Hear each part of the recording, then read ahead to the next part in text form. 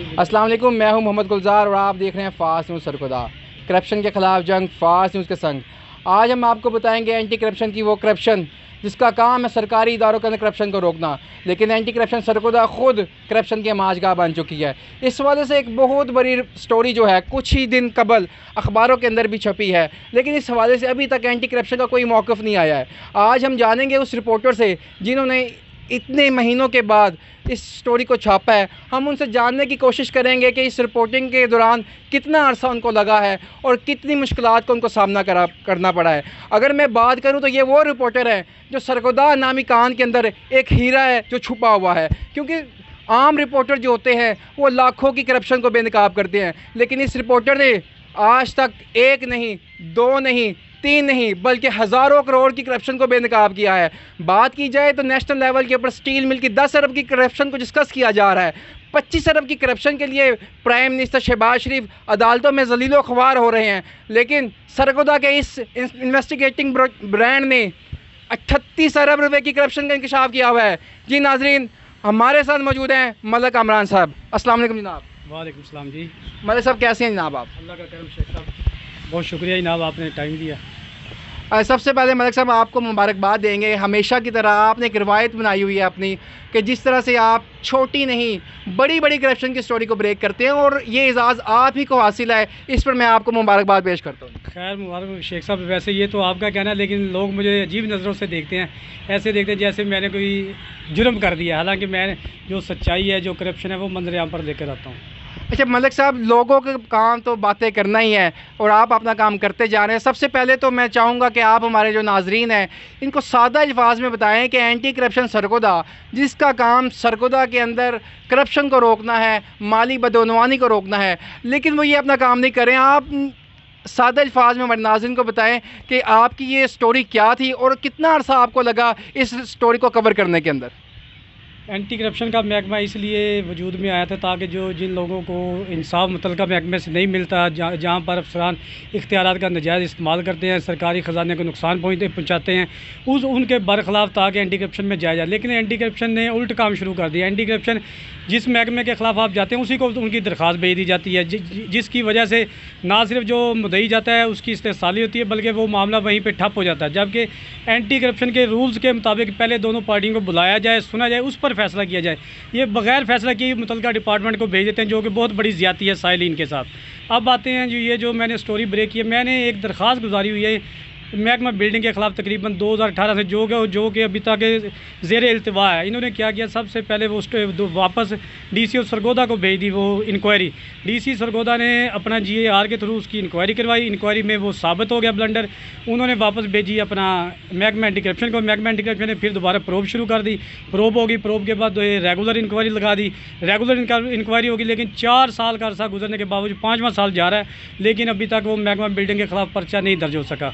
दूसरी बात है कि ये जो स्टोरी छापी गई है, काफ़ी अर्सा से मैं देख रहा हूँ, मेरे सोर्सेज के मुताबिक, चूँकि वहीं पे आना जाना भी था, और वहाँ पे जब ये चिट्टें जो डीजल और पेट्रोल की टीचे चिट्टें हैं मुतल अफसरान से जब करवाई जा रही थी, वहाँ पे भी वो वो डिस्प्यूट बनता रहा, और जो महकमा एंटी करप्शन की राहदारी हैं, वहाँ पे ये मामला डिस्कस हो डिस्कस होते रहे कि जो महकमा के खुद अफसरान हैं, ना उनके पास गाड़ियाँ और ना उनको डीजल, पेट्रोल अलाउड है, जबकि जो मैडम की सरकारी गाड़ियाँ, जो कि महकमा ना कामों के इस्तेमाल के लिए रखी गई हैं, वो अपना से प्राइवेट तौर पर इस्तेमाल हो रही हैं। बल्कि एक दिन एक डिप्टी डायरेक्टर साहब के पास एक क्लर्क वो अपना साइन करवाने आया तो वहाँ पे काफ़ी इनकी बहस मुबासा होता रहा इसी हवाले से। तो मैंने फिर इनको देखा, मुसलसल मैंने इनको वाज किया, तकरीबन दो से तीन माह लगे मैंने इनकी वीडियोज़ बनाई। एक वो जो गाड़ी है मैडम के खामद के ज़रिए इस्तेमाल है, एक जो है उनके ज़ाती घर के लिए इस्तेमाल है, और एक डिग्री कॉलेज है जो कि अपना फ़ारूक कलूंदी वाला, वहाँ पे ज़ेर इस्तेमाल है। तो वो मैंने बड़ी मेहनत से वो वीडियोस बनवाई, कम अज़ कम उसमें ढाई से तीन माह लगे। उसके बाद दीगर इश्यूज़ हैं, उसमें आप देखें, उसमें एक ज़िक्र है, अपना असिस्टेंट डायरेक्टर खुरम मनवर का, जो कि अरसा दराज से यहाँ पर तैनात हैं। उनका एक वो फ्रंट मैन उन्होंने रखा हुआ है, छीना छीना नामी शख्स। जिस जिसको अपना सबक जो डायरेक्टर थे उससे अपना मसूद फारूका साहब, उन्होंने उनके दफ्तर में दाखिले पर पाबंदी भी लगाई, जो कि दोनों पार्टियों के दौरान इंक्वायरी भी वहाँ पर मौजूद रहते हैं और इंक्वायरी के बाद भी वो पार्टियों थ्रेड करते हैं मुक मका के लिए, आगे पीछे वो भी हमने इशू हाईलाइट किया। फिर हाल ही में डीजी एंटी करप्शन पंजाब को उहदे से हटाया गया। इसी वजह से कि जो लो ग्रेड के अफसरान हैं वो, उनको अपग्रेड पर सीटों पर ना बिठाया जाए। उसी उसी तनाजर में आप अगर देखा जाए तो डिप्टी डायरेक्टर बतौर डिप्टी डायरेक्टर खुरम मनवर सरगोदा और डिप्टी डायरेक्टर बकर भी चार्ज लिए हुए हैं, जो कि गलत है। अब उसके साथ साथ आप ये देखेंगे जब ये इनके पास डिप्टी डायरेक्टर भक्कर का चार्ज था तो ये बजाय इंक्वायरियाँ वहाँ पर जाके करने के, यहाँ पर करते थे, उन लोगों को भक्कर से सरगोदा आना पड़ता था। देखिए कितना बड़ा जुल्म है कि आप लोगों को उनकी दहलीज पर इंसाफ दें। ये वायलेशन है बहुत बड़ी। अब उसके बाद फिर आ जाए एक फैसल घुमन साहब हैं, जो कि सबक D G anti corruption Punjab Aslam Ghuman के रिलेटिव बताए जाते हैं। उस दौर में ही इनको भर्ती किया गया। बल्कि मुबैना तौर पर अभी मुझे पता चला कि इनकी कोई डिग्री भी जाली है। उनको इन्होंने सीनियर स्केल स्टेनोग्राफर जो होता है, महकमे में एक ही होता है। ये सीनियर स्केल स्टेनोग्राफर की दूसरी सीट ही नहीं है। उसके बावजूद इनको ना सिर्फ़ बतौर सीनियर स्केल स्टेनोग्राफर ये बैठे हैं, दूसरा इनको असिस्टेंट डायरेक्टर का चार्ज दिया हुआ है। वो भी गलत है। उसके अलावा आप देखेंगे असिस्टेंट डायरेक्टर्स को स्ट्रक्चर जो एंटी करप्शन का स्ट्रक्चर है, उसमें ड्राइविंग ड्राइवर की सीट अलाउड नहीं है। यानी कि उनको गाड़ी अलाउड नहीं हो सकती। अब दूसरे भी अफसरान हैं असमतुल्ला बंदयाल देख लें, उनको गाड़ी अलाउड नहीं है, लेकिन कुछ अफसरान को ना सिर्फ़ गाड़ियाँ अलाउड हैं, बल्कि अलाउड की हुई हैं गैर कानूनी तौर पर, बल्कि इनको डीजल और पेट्रोल भी अलाउड किया हुआ जो कि गैर कानूनी अब इन्होंने फिर जो सरगोदा प्रेस क्लब में प्रेस कॉन्फ्रेंस के दौरान कहा, उसमें हमने खबर में ज़िक्र किया था कि जो गाड़ी है, deputy director technical Sheikh Umar के पास, वो उसने अपने आबाई गाँव में भेजी हुई है, मियानी। अब वहाँ पे हमने ये नहीं कहा कि वो वो उनका वालद उनको चला रहा है। अगर वो वालद उनके बीमार हैं, जेर इस्तेमाल तो उनके हैं ना जी।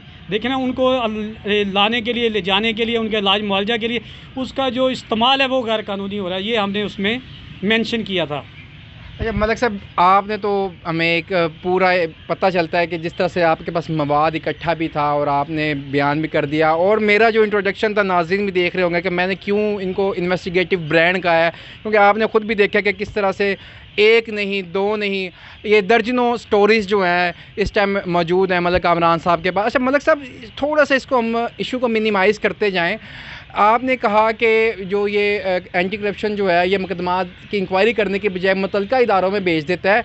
क्या आया ये पॉलिसी मौजूदा रीजनल डायरेक्टर की तरफ़ से है या इससे पहले भी यही पॉलिसी अपनाई जाती थी?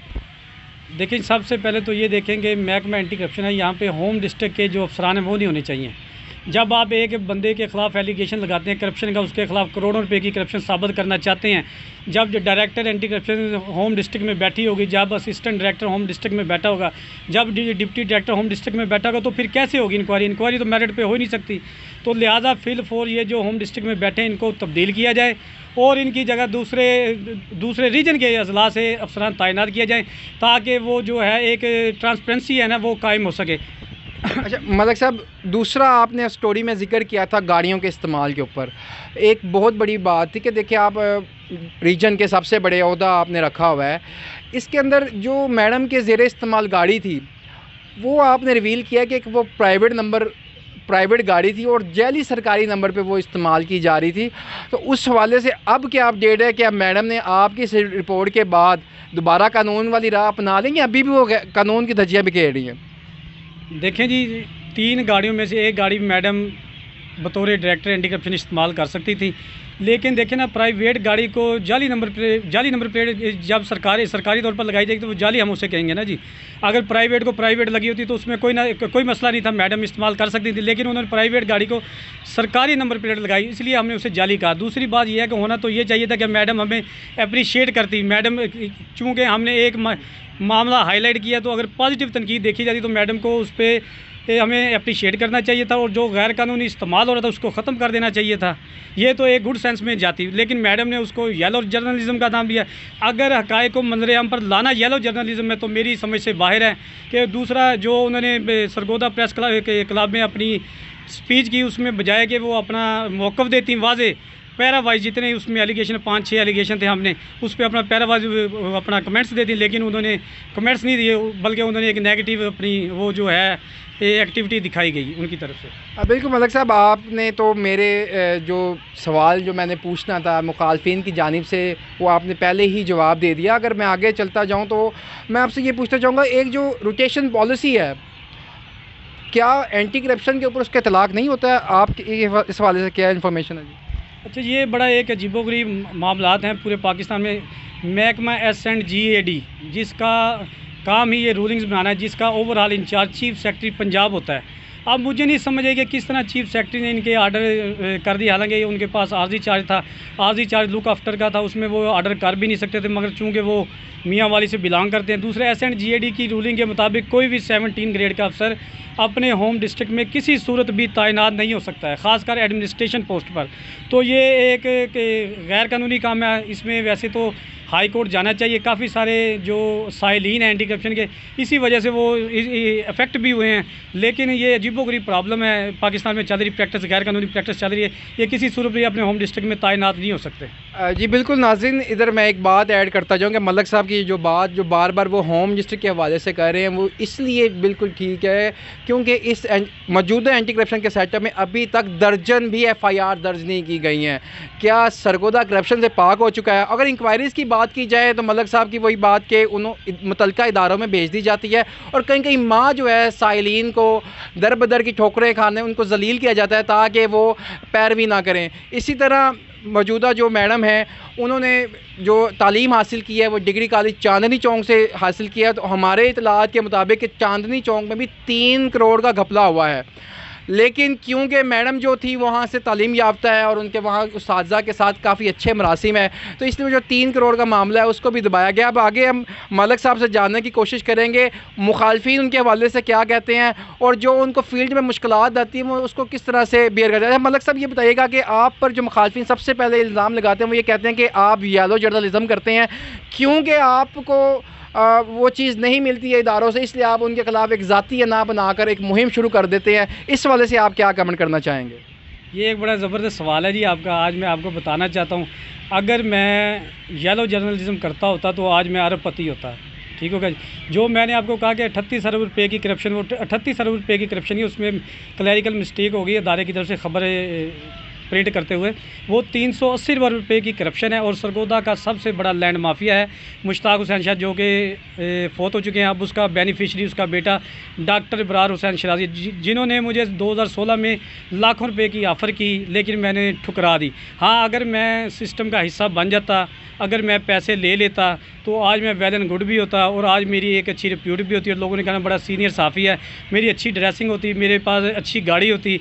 लेकिन चूँकि मेरे पास अभी भी किस्तों का मोटरसाइकिल है और वो भी टूट फूट का शिकार है। अगले दिन ही उसका काफ़ी सारा काम करवाया। किसी को क्या कर जनाब? ना जी किसी बंदे ने मुझ पर शफकत की उन्होंने कहा मलिक साहब आ जाए मैं आपका काम करवा देता हूँ। अभी मैं आपको बताता चलूँ ये तीन सौ अस्सी रुपये की करप्शन के हवाला से यहाँ पे एक अदाकार मतलब तीन सौ अस्सी अरब है? जी ये तीन सौ अस्सी अरब है। यहाँ पर एक अदाकार डायरेक्टर रहकर गया अदाकार मैं इसलिए कहता हूँ वो अदाकारी करते थे। वो ना आए रोज़ प्रेस कॉन्फ्रेंसें करना साफ़ियों को साथ मिलाना, एक दिन मैं चला गया उनके पास। उन्होंने प्रेस कॉन्फ्रेंस की और उसके बाद उनका नाम था आसम रज़ा। मैंने उन्हें कहा, जी देखेंगे बात ये है, आप बड़ी प्रेस कॉन्फ्रेंस कर रहे हैं। बड़े दावे कर रहे हैं। दो इशू मैं आपको बताता हूँ। अगर आप ये करने के साबित मैंने करने, अगर आपने इनको मंतकी अंजाम तक पहुँचा दिया तो आप ईमानदार हैं। अदरवाइज़ आप फिर खुद ही एक्सपोज हो जाएँगे। अच्छा एक एक इशू मैंने उन्हें बताया, ये मुश्ताक हुसैन शाह वाला। और दूसरा, एक डीआईजी थे, इसहाक जहांगीर, उनका एक स्टाफ था। उन्होंने एक रिटायर्ड सब इंस्पेक्टर से साढ़े लाख रुपये लिए थे, जिनमें काफ़ी बड़े बड़े नाम थे। अच्छा ये दोनों इशू मैंने उन्हें दिए। पहले इशू पे मुश्ताक हुसैन शाह वाले इशू पे बैठ कर डिस्कस हुई, सारे सबूत दिखाए गए, बताए गए, उन्हें समझाया गया। उस पर ये हमारा ये फैसला हुआ कि डीजी एंटी करप्शन पंजाब जो कि उस वक्त ब्रिगेडियर रिटायर्ड मुजफ्फर रंजा साहब थे, उनको एक दरख्वास्त दी गई ताकि उनसे मार्क होकर आ सके, ताकि उस लिहाज से उसी उसी तरह एक बड़ी इंक्वायरी जनाब ना जी उस पर करवाई जा सके। अच्छा वो इंक्वायरी होकर आगे फिर पंजाब लेवल का एक कंसल्टेंट बुलाया गया, जिसका नाम मोहम्मद शफ़ी था। जब वो पंजाब लेवल का कंसल्टेंट आ गया आसम रज़ा का मुझे फ़ोन आया, जिसकी आज तक रिकॉर्डिंग मेरे पास मौजूद है। उन्होंने कहा, जी, परसों से आप, आपका मुदई और आपका वकील तीनों पाबंद हैं सर्कट हाउस में। कंसल्टेंट साहब आ गए हैं, तमाम रेवन्यू डिपार्टमेंट और तमाम डायरेक्टर एंडिकेशन का डिपार्टमेंट जनाब पाबंद कर दिए गए जिस पर इंक्वायरी हुई। बाद एज इंक्वायरी कंसल्टेंट जो कि मोहम्मद शफ़ी नाम का शख्स था रिटायर्ड तहसीलदार था जिसके जिसका कहना कहना था कि उन्नीस से लेकर अब तक के मौजूदा जितने भी रेवन्यू के नोटिफिकेशन है, मेरे पास हैं। तो उन्होंने कहा, जी, मैंने ज़िंदगी में इससे बड़ा ब्लंडर नहीं देखा, इससे बड़ी करप्शन नहीं देखी, ये उस कंसल्टेंट के, कई तारीखी अल्फाज थे। उसके बाद क्या हुआ कि वो मामला मैनेज हो गया। वो मैनेज जिस तरह होता है वो आपको भी पता है बंद करने में हमें भी पता है। उसके बाद वो जो डायरेक्टर थे आसम रजा साहब मुझसे मुलाकात करने से मिलने से इनकारी हो जाते थे। और ख़बरें में रोज़ाना जो इन्वेस्टिगेटिव स्टोरी छपती थी शाम को दिन को सुबह को वो मुझे प्रॉपर फ़ोन करते थे पूछते थे कि मलिक साहब ये जो स्टोरी छापी है हमारे जो अदारा है हमारे अंडर आता है उनको मैं बताता था। उसमें चूँकि सबूत छपे होते थे। फिर वो एक दिन तशरीफ़ लेकर आए प्रेस क्लब उन्होंने कहा जी मैं कामरान की हर खबर पर एक्शन लेकर ना जी, उस पर एफ़ देता हूँ मैं क्या जनाब, मेरी खबर में इतनी उसमें सदाकत होती है, इतने सबूत होते हैं कि आपको ऑटोमेटिक उसमें एफ़ आई आर देनी पड़ जाती है और चूँकि उसमें सबूत होते हैं, आपके लिए ईजी हो जाता है, जनाब। आप मेरे कहने पर नहीं देते, मेरी खबरीत पर उस पर एफ़ आई आर देते हैं। ये मैंने उस वक्त उन्हें टोका था। उसके बाद उन्होंने, जब ये मुश्ताक शाह वाली इंक्वायरी मैंने आपको बताया, मुकम्मल होगी, वो मुझसे मिलने से इनकारी हो गए। इतने में ज़िला कचहरी से मैं गुजर रहा था कि एक वकील साहब ने मुझे रोका उन्होंने कहा, जी, देखें D G anti corruption Punjab मेरी जो अज़ीज़ है, उसके साथ ज़्यादा कर रहे हैं, उनके उनके मुखालफ सरगर्मियों में मुलवस हैं जनाब तो उनसे उनका जो सरकारी कोठी खाली करवाना चाहते हैं। तो पता चला कि एक ए डी थी यहाँ पे उल्फन नाहिद साहबा। उनका एक इशू था, फिर वो ख़बरें लगना शुरू हो गई। इन्होंने क्या किया इन्होंने इन्होंने एक प्री प्लान जनाब के मुकदमा मेरे ख़िलाफ़ बनाया, जिसमें महकमा बिल्डिंग वालों ने अपना करदार अदा किया। महकमा बिल्डिंग वालों का कहना है कि ये हमसे ज़बरदस्ती करवाया गया। उन्होंने मुझसे एक इश्तहार छपवाने की मद में मुझे पैसे दिए और मुझे गिरफ़्तार करवा दिया जिसमें अल्लाह के फजल करम से मैं बरी हो गया, आज तक साबित हो गया। हाँ अगर मैं ब्लैक मेलर हूँ तो कोई सरगोदे, कोई बंदा आकर साबित कर दे। मेरा बैंक बैलेंस देख लें, मेरे रहना सहना देख लें। अगर किसी बंदे ने मुझे पैसे दिए तो मेरे सामने आकर साबित करें। येलो येलो जर्नलिज्म ये नहीं है। असल ये लोग चाहते हैं कि मैं इनके सिस्टम का हिस्सा बन जाऊँ और अपना हिस्सा बकदर जुस्सा लेकर इनके साथ मिल जाऊँ तो फिर ठीक है, फिर येलो जर्नलिज्म नहीं है। अगर मैं जो देखता हूँ जो मुझसे नहीं रह जाता वो मैं हाईलाइट करता हूँ। मैं समझता हूँ कि मेरा ज़मीन और दिल मेरा मुतमिन है। अल्लाह ताला का मुझ पर करम है। मैं जो देखता हूँ, उस पर अपनी तहकीक करता हूँ और उसको बाद तहकीक, तस्दीक हम शाया कर देते हैं। अच्छा मतलब साहब, वैसे बातें अगर करते जाए तो जैसे आपकी पर्सनैलिटी क्या, मुझे यूँ महसूस हो रहा है कि हमारे पास टाइम कम हो जाएगा। तो इसी वजह से हम हम जो अपना ये इंटरव्यू है इसको मुख्तलिफ़ आर्ट्स के अंदर जो है वो हम अपलोड करेंगे ताकि नाजरीन जो है आपकी बातों से ज़्यादा से ज़्यादा फ़ायदा हासिल कर सकें। क्योंकि आपकी बातें बहुत ही हासिल हैं और मुझे उम्मीद है कई इदारे, कई लोग आपकी इस बातों से फ़ायदा भी उठाएँगे। अच्छा मलिक साहब वापस आ जाती है अपनी जो रिसेंटली जो आपने स्टोरी ब्रेक की थी। स्टोरी ब्रेक करने के बाद क्या एंटी करप्शन की तरफ़ से आपको कोई दबाव आया हो? यहाँ पर प्रेशराइज़ किया गया हो? या उन्होंने कोई एंटी कार्रवाई, क्योंकि सम टाइम ऐसा होता है, अगर स्टोरी झूठी ब्रेक की है तब भी इदारा जो होता है, उसके पास इख्तियार है कि वो आपको शो का नोटिस जारी कर सकते हैं। इस हवाले से कोई कार्रवाई की गई है एंटी करप्शन डिपार्टमेंट की जानब से? पहली बात तो ये है कि एंटी करप्शन मेरे ख़िलाफ़ कार्रवाई नहीं कर सकती। जो पहले भी इन्होंने कार्रवाई की थी, वो गलत थी। दूसरी बात है, यार ना ये मुझे शोकाज भेज सकते हैं। हाँ अगर ख़बर में कोई सदाकत नहीं है तो ये जा सकते हैं, सिविल कोर्ट में जा सकते हैं, उधर जाएँ, ठीक है, मुझे लीगल नोटिस भेजें। वो भेजें, कोई बात नहीं। हम तो हाजिर हैं, अगर वो अपना मौक़ देना चाहते हैं मौक़ भी दे दें। उनको तो मैंने बल्कि कहा कि उनको अपना मौक़ देना चाहिए। अगर मेरी खबर गलत है तो उनको अपना मौक़ देना चाहिए। मैं आपको एक, सिर्फ़ एक बात बताना चाहता हूँ कि एक दफ़ा मैं ज़िया शाह साहब के पास गया, मेरी एक पेशी थी। तो मैंने दुराने पेशी ने कहा, जी, मेरी एक खबर रुक गई है। तो उन्होंने C N E news room को बुलवा लिया और इंचार्ज नुमाइंदगान को बुलवाया गया कि, यार, इसकी खबर किस तरह रुकी? उन्होंने कहा, जी, इनकी खबर के साथ वर्षन नहीं था मुतल अफसर का। मैंने कहा, जी, हम मुतल अफसर का वर्षन देना चाहते हैं, वो देते नहीं हैं। बल्कि मैंने फिर दो माह क्या किया, खबर के साथ नीचे लिखा है नोट के मुतल अफसर का नंबर मैं आपको भेज रहा हूँ। मुझे वर्षन देने से इनकारी है। अगर आप अदारा खुद खबरें लेना चाहे तो ले सकता है। मुझे आज तक किसी बंदे ने खबर पर वर्षन नहीं दिया। एक दफ़ा बी वी सी सरगोदा के जो पी आर होते हैं, उन्होंने मुझे फ़ोन किया, उनका नाम अदरीस मिर्ज़ा था, उन्होंने कहा, जी, हम आपके ख़िलाफ़ सिविल सुप्रीम कोर्ट जाना चाहते हैं। मैं कहा, जी, आप सुप्रीम कोर्ट नहीं जा सकते।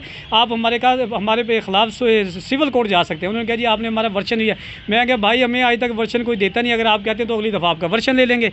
अगली दफ़ा उनको वर्षन के लिए फ़ोन किया गया तो उन्होंने कहा, जी वी साहब वर्षन नहीं देना चाहते। आप हमारे साथ चाय पिए आके। मैं क्या जी, मैं चाय नहीं पीना चाहता, वर्षन आपका लेना चाहता। तो अगर डायरेक्टर एंटी करप्शन मुझे वर्षन देना चाहें किसी साफ़ी को देना चाहे, किसी फोरम पर देना चाहे तो हम हाजिर हैं। अगर हमारे साथ मुनाजरा करना चाहें कि मेरी खबर सच्ची है झूठी, जिस लिहाज से, जितने भी उसमें मैंने कंटेंट्स लिखे हैं पैरा वाइज अभी तो आपने मुझे अचानक बुलाया और अचानक ही सवाल की मैं उनके जवाब दे रहा हूँ। अगर आप मुझे तैयारी के साथ बुलाते तो मैं अपना पेपर वर्क करके आता तो आपको मज़ीद अच्छे जनाब जवाब देता। आप मेरे साथ स्टेप बाई स्टेप बनाएँ। बेशुमार अभी प्रॉब्लम्स हैं, बड़े बेशुमार स्टोरीज़ हैं। महकमा एंटी करप्शन के मतलब जो ना ख़त्म होने वाली हैं तो इन मुस्तबिल में आपके साथ साथ रहेगा तो इन उनको हाईलाइट करते जी, ज़रूर, मलिक साहब, हम आपकी जो तजर्बा है, उससे फ़ायदा उठाएँगे ताकि जो आने वाले नौजवान हैं, आप उनके लिए मशल राह बने। अच्छा मलिक साहब, आखिरी बातों की तरफ़ आए तो थोड़ी हल्की फुल्की बात भी हो जाए। सम टाइम जो एंटी करप्शन वाले हैं, ये लोग फ्रंट मैन ढूंढते हैं। अगर कोई लोग इस कैलिबर के लोग हो, जिनको इन्वेस्टिगेशन करने का शौक़ होता है तो इन्वेस्टि जो एंटी करप्शन वाले हैं, वो उनसे रबता करते हैं कि आप लोग हमारे साथ मिल काम करें और बतौर फ्रंट मैन काम करें। कभी आपको ऐसी ऑफ़र हुई है? मैंने आपको बताया कि आसफ रजा से बात हुई। तो आज तक हमारे साथ कोई चालीस से लोग भाग जाते हैं, लोग मुक मका कर लेते हैं, लोग मैनेज हो जाते हैं। अल्हम्दुलिल्लाह, आज तक हम मैनेज नहीं हुए।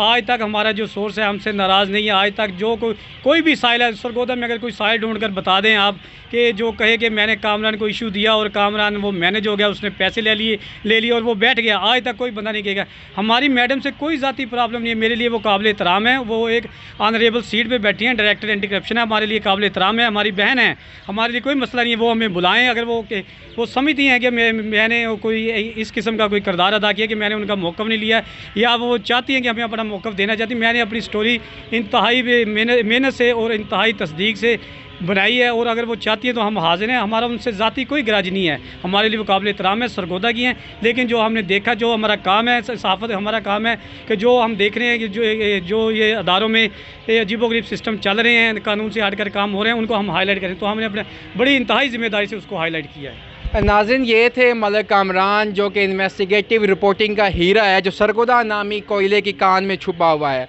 अगर बात की जाए रिपोर्टिंग की। तो मलक कामरान के पास भी ऑप्शन था कि जब उन्होंने 380 अरब रुपए नाजिन 380 अरब रुपए की जब उन्होंने करप्शन को बेनकाब किया, इंकशाफ किया तो वो चाहते तो कुछ करोड़ों लेके तो आज इस्लामाबाद के अंदर एक बंगला में रह सकते थे। लेकिन हमें इन जैसे जो सहाफ़ी हैं, जो शख्सियात हैं, इनकी कदर करनी चाहिए, जो अपनी ज़मीर का सौदा नहीं करती है। इसके साथ ही अपना ख्याल रखेगा जी। अल्लाह हाफिज़।